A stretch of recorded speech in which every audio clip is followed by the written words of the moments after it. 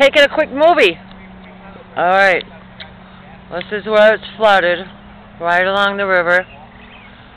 Look at that. Is that not amazing?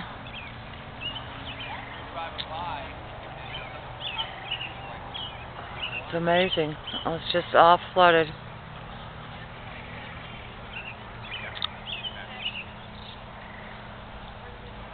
We're in Sauk, Wisconsin.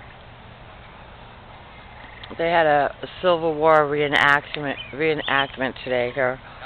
So you can see people sitting over there, still dressed, and uh, here's some ladies that are dressed. See? There we go. They're all chilling before they go to war. How long is this going on? This is a big party. Uh, there they go. A very nice event. Fun.